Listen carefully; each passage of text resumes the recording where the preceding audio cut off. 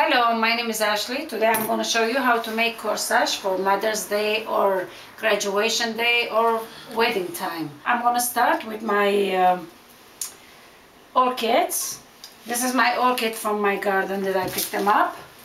So all we need is the flower, the ferns, the ribbon, uh, the um, tape, special tape for flowers. We need couple metal, which is uh, electric wires, or they sell it in art and craft stores, a scissor, and that's all.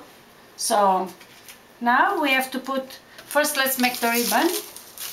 You turn this about four or five times.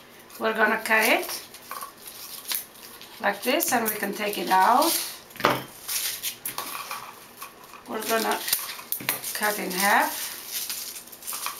You can put this together again and you're gonna wrap this with the wire.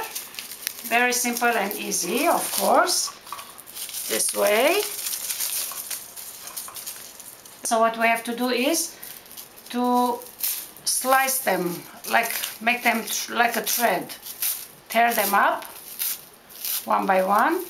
It's very simple. Just be careful not to poke your fingers. Alright? See how it's done? You take the scissor and you put, you hold it and you pull it. And it, it rolls it. It becomes little curls. You can do one by one, couple together.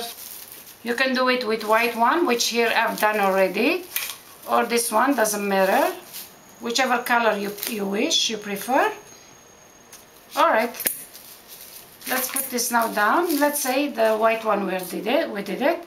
You take couple fern. Any kind of leaves you have in your garden which those are from my garden you put them together like this. You add a little extra green. Whatever you like. We have couple fern. After that we put baby breath or any kind of flowers you like. And then you put your orchid. And then your ribbon together. You'll take your green tape. This is very, very good tape, which is special tape for, like I said, for flower arrangement. And you roll it.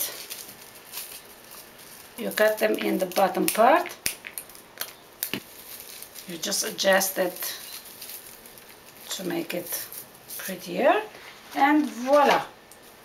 And you wish your family, your friends, happy Mother's Day, happy wedding and happy graduation and enjoy it. It's very easy, simple. Hopefully you try it and you'll have fun.